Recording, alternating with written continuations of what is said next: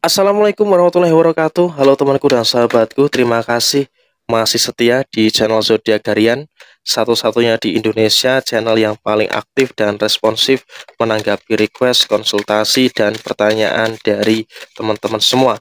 Dan pada kesempatan kali ini saya akan bahas zodiak yang akan lunas hutang ya di akhir bulan Agustus tahun 2022 ini. Nah, apakah zodiak teman-teman termasuk yang akan lunas hutangnya di akhir bulan Agustus tahun 2022 ini?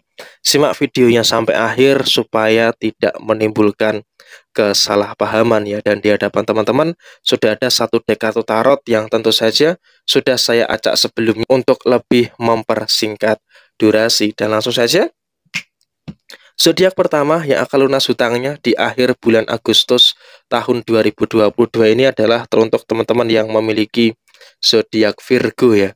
Di sini ada kartu King of Cup dan kemudian di kartu yang sebaliknya di sini ada kartu Four of Wands ya. Meskipun ya bisa dikatakan Teruntuk teman-teman yang memiliki zodiak Virgo di dalam urusan usaha, di dalam urusan pekerjaan, teman-teman Virgo mengalami beberapa gejolak dan juga permasalahan-permasalahan yang terjadi di dalam kehidupan kamu, tetapi ya syukurnya memang pada fase akhir di bulan Agustus tahun 2022 ini tidak menghambat ya dan juga tidak menghalangi potensi-potensi rezeki yang baik yang didapatkan oleh teman-teman yang memiliki zodiak Virgo. Jadi ya memang meskipun usaha kamu bermasalah, pekerjaan kamu juga cukup berat, tetapi itu tidak menghambat rezeki-rezeki yang baik yang didapatkan oleh teman-teman yang memiliki zodiak Virgo. Nah, dengan rezeki-rezeki yang baik yang diperoleh dan juga didapatkan oleh teman-teman Virgo di fase terakhir bulan Agustus tahun 2022 ini, maka ya otomatis apabila teman-teman Virgo ada hutang, ada cicilan, ada pinjaman,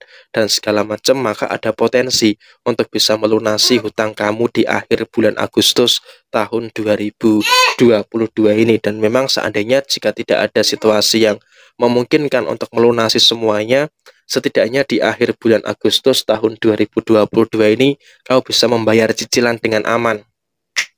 Membayar cicilan dengan lancar apa yang memang terjadi di dalam kondisi finansial kamu. Dan memang teruntuk teman-teman Virgo hutang-hutang yang ada di dalam diri kamu memang enggak terlalu banyak sih. Tetapi dengan jumlah yang intensitasnya atau frekuensi yang terlalu sering. Tetapi ya apa pun itu tetap berusaha tetap berusaha berusaha dan berusaha bahwa kamu itu pasti mampu pasti bisa untuk menyelesaikan dan juga menuntaskan beberapa situasi-situasi yang bermasalah di dalam kondisi keuangan kamu. Jadi ya teruntuk teman-teman yang memiliki. Zodiak Virgo, kamu harus bersyukur. Ada rezeki-rezeki yang baik, ada rezeki-rezeki yang lancar yang bisa kamu gunakan untuk keperluan finansial kamu. Dan kemudian di sisi yang lain, di fase akhir bulan Agustus tahun 2022 ini di bulan kelahiran kamu, terutama teruntuk teman-teman Virgo yang lahir di akhir bulan Agustus, ada beberapa situasi-situasi yang saya rasa cukup baik ya. Ada rezeki-rezeki yang tak terduga, ada rezeki-rezeki yang bakal didapatkan dan juga dirasakan oleh teman-teman yang memiliki zodiak Virgo. Jadi ya kamu bersyukur rezeki yang baik akan membawa dampak kebaikan juga lunas hutang di akhir bulan Agustus 2022 ini. Dan kemudian zodiak yang kedua yang akan lunas hutangnya adalah teruntuk teman-teman yang memiliki zodiak Sagittarius ya. Di sini ada kartu The Empress dan kemudian di kartu yang sebaliknya di sini ada kartu The Magician ya. Nah, ini representasinya apa?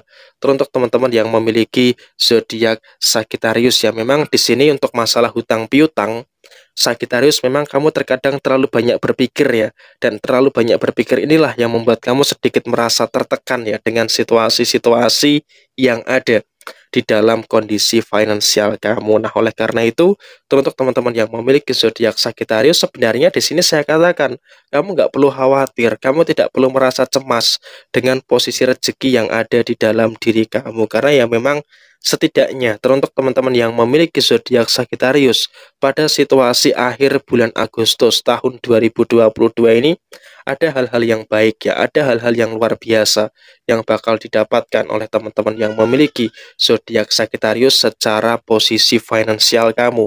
Dan dengan kebaikan-kebaikan yang ada secara finansial, saya bisa melihat ya, kamu akan mampu untuk melunasi hutang dan juga membayar cicilan dengan lancar di akhir bulan Agustus tahun 2022 ini. Jadi ya saya rasa untuk teman-teman yang memiliki zodiak Sagittarius, kamu harus senantiasa bersyukur, bersyukur dan bersyukur dengan segala bentuk kebaikan-kebaikan yang muncul, dengan kebaikan-kebaikan yang terjadi di akhir bulan Agustus tahun 2022 ini. Jadi ya saya rasa untuk teman-teman yang memiliki zodiak Sagittarius, kamu akan potensi lunas hutangnya di akhir bulan Agustus 2022 ini karena ya memang rezeki kamu nggak bermasalah. Jadi mau apa lagi? Langsung saja tuntaskan, langsung saja selesaikan apa yang memang menjadi perkara dan juga permasalahan finansial kamu. Dan kemudian Zodiak yang ketiga yang berpotensi untuk lunas hutangnya di akhir bulan Agustus tahun 2022 ini adalah teruntuk teman-teman yang memiliki zodiak Pisces ya. Di sini ada kartu King of Pentacles dan kemudian di kartu yang sebaliknya di sini ada kartu Five of Swords ya. Memang teruntuk teman-teman yang memiliki zodiak Pisces di fase akhir bulan Agustus tahun 2022 ini kamu akan mendapatkan berbagai macam rezeki-rezeki yang baik ya mendapatkan berbagai macam rezeki-rezeki yang luar biasa yang bakalan terjadi di dalam kehidupan kamu. Tetapi teruntuk teman-teman yang memiliki zodiak Pisces, memang kamu juga harus bisa lebih hati-hati karena apa? Kamu masih memiliki beban hutang, masih memiliki beban pinjaman, yang di mana hutang dan juga pinjaman itu harus dituntaskan, harus diselesaikan dengan sesegera mungkin. Nah, pada fase akhir di bulan Agustus tahun 2022 ini, memang teruntuk teman-teman yang memiliki zodiak Pisces ada rezeki yang baik ada rezeki yang bagus, tetapi juga ada berbagai macam juga keperluan-keperluan dan juga kebutuhan-kebutuhan yang ada di dalam posisi finansial kamu. Jadi ya di sini saya wanti-wanti Teruntuk teman-teman yang memiliki zodiak Pisces, hati-hati dengan pengeluaran-pengeluaran yang terjadi di fase terakhir bulan Agustus tahun 2022 ini. Dan kemudian di sisi yang lain untuk hutang-hutang yang ada yang memang belum bisa dikatakan lunas secara seutuhnya ya. Tetapi untuk membayar cicilan dengan lancar di akhir bulan Agustus tahun 2022 ini cukup masuk akal. Dan kamu pun juga akan mampu untuk membayar dan juga melunasi beberapa cicilan dan juga pinjaman-pinjaman yang ada di dalam diri kamu termasuk pinjaman online ya, yang ada di dalam diri kamu. Besar kemungkinan yang memang akan tercicil dengan bagus ada cicilan yang lancar pada situasi akhir bulan Agustus tahun 2022 ini. Dan saya wanti-wanti teruntuk teman-teman yang memiliki zodiak Pisces ketika semuanya sudah selesai jangan menambah lagi lubang ataupun mengulangi lagi kesalahan-kesalahan di dalam posisi hutang piutang kamu terutama di dalam kehidupan kamu di tahun 2022 ini. Jadi ya kesimpulannya di akhir bulan Agustus ada rezeki yang baik ada rezeki yang lancar yang bisa kamu gunakan untuk bayar cicilan dan juga melunasi hutang-hutang yang ada di akhir bulan Agustus tahun 2022 ini. Dan inilah gambaran ataupun representasi dari apa yang akan terjadi teruntuk teman-teman Pisces di fase terakhir untuk lunas hutang tahun 2022 di bulan Agustus ini. Dan kemudian zodiak yang keempat yang berpotensi lunas hutangnya di akhir bulan Agustus tahun 2022 ini adalah teruntuk teman-teman yang memiliki zodiak Leo. Nah, kenapa teman-teman Leo? Di sini ada kartu Nine of Swords dan juga di sini ada kartu pack of cup ya. Di sini saya wanti-wanti teruntuk teman-teman Leo yang memiliki pinjaman, usahakan ya jangan gali lubang tutup lubang. Karena ya situasinya ketika kamu terlalu gali lubang tutup lubang, yang saya khawatirkan ini akan menjadi beberapa perkara akan menjadi beberapa permasalahan-permasalahan yang akan bergejolak terus di dalam kehidupan kamu. Jadi ya gali lubang, tutup lubang. Ini nggak boleh terjadi di dalam posisi finansial kamu. Karena apa? Ketika kondisinya seperti itu, berarti itu kan mengindikasikan ada situasi yang nggak terlalu bagus, ada situasi yang tidak terlalu baik ya di dalam kondisi keuangan kamu. Padahal ya sampai dengan tanggal 25 Agustus setidaknya oke okay lah masih ada pengeluaran-pengeluaran yang terjadi, tetapi kan tertutup dengan pemasukan yang bagus, dengan pemasukan yang lancar. Tetapi ketika memasuki fase akhir di bulan Agustus tahun 2022 ini, saya wanti-wanti teruntuk teman-teman yang memiliki zodiak Leo, kamu juga harus bisa lebih hati-hati, kamu harus bisa lebih waspada, jangan sampai terlalu banyak pengeluaran-pengeluaran yang terjadi. Karena apa? Uang yang kamu dapatkan ini harus digunakan untuk melunasi hutang untuk membayar cicilan agar tidak jatuh tempo dan nantinya malah terkena penalti di dalam posisi hutang piutang kamu. Jadi ya kamu harus ada ketegasan untuk mengelola kondisi finansial kamu dengan sebaik-baiknya. Karena nggak ada cara lain ya, nggak ada pilihan lain untuk teman-teman yang memiliki zodiak Leo untuk melunasi hutang kamu kecuali ya dengan cara ini. Harus bisa lebih cermat, lebih dewasa dan juga harus bisa lebih berhati-hati di akhir bulan Agustus tahun 2022 ini terkait dengan hutang piutang yang ada di dalam diri kamu dan kurang lebih ya memang seperti inilah gambaran yang kemungkinan besar cukup memungkinkan Teruntuk teman-teman yang memiliki zodiak Leo untuk lunas hutangnya di akhir bulan Agustus tahun 2022 ini. Dan kemudian zodiak yang kelima yang akan lunas hutangnya di akhir bulan Agustus adalah teruntuk teman-teman Capricorn ya. Di sini ada kartu S of dan kemudian di kartu yang sebaliknya di sini ada kartu Four of Pentacles ya. Teruntuk teman-teman yang memiliki zodiak Capricorn jujur saja ya dengan beban-beban pinjaman, dengan beban-beban hutang piutang yang ada di dalam diri kamu ini seolah-olah membuat kamu mengalami kesulitan ya untuk berkonsentrasi. Jadi ya setidaknya untuk teman-teman yang memiliki zodiak Capricorn, kamu harus selalu mensyukuri ya dengan kemampuan-kemampuan yang baik untuk mencari rezeki.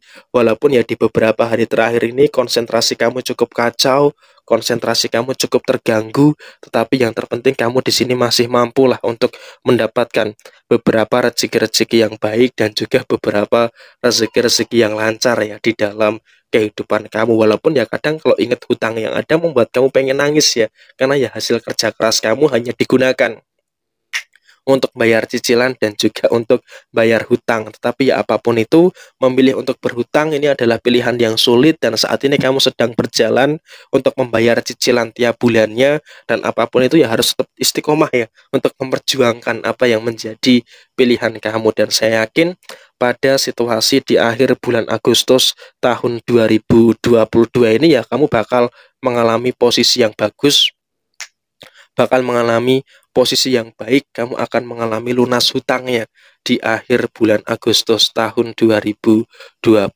ini. Jadi ya saya lihat untuk teman-teman yang memiliki zodiak Capricorn setidaknya kamu dalam kondisi yang baik kamu dalam kondisi yang aman, terkendali, dan juga tidak terlalu bermasalah ya di dalam kondisi keuangan. Setidaknya di akhir bulan ini ada cicilan yang bagus, ada cicilan yang lancar, dan kamu bisa melunasi beberapa hutang yang kecil-kecil ya di akhir bulan Agustus tahun 2022 ini. Dan kemudian zodiak terakhir yang akan lunas hutangnya di akhir bulan Agustus tahun 2022 ini adalah teruntuk teman-teman yang memiliki zodiak Libra ya. Nah, kenapa teman-teman Libra?